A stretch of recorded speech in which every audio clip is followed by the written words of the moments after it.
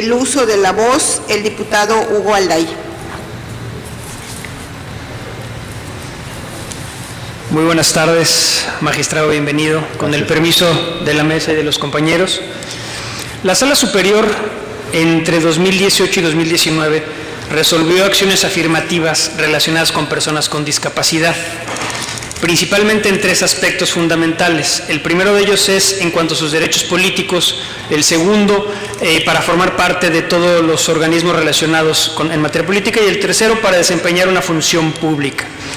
De acuerdo a datos nacionales, el 7% de los mexicanos aproximadamente tiene alguna discapacidad y obviamente eh, esto va a crecer porque la mayoría de nosotros con el paso del tiempo podemos llegar a este, a este tema.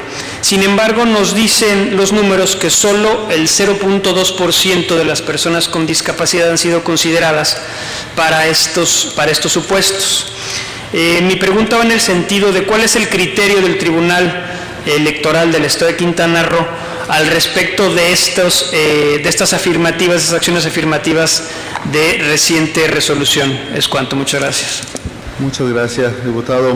Pues como he comentado, el Tribunal Electoral de Quintana Roo es un tribunal garantista que siempre va a estar en pro de los derechos humanos. Efectivamente, es una agenda pendiente legislativa la inclusión de este grupo vulnerable en la legislación, así también como la diversidad sexual. Recordemos que este tipo de acciones han sido a golpe de sentencias.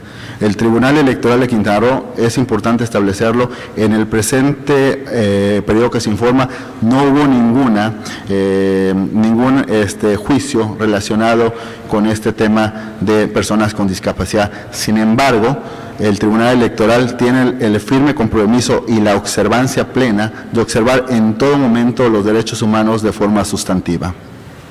Gracias. Muchas gracias, diputado.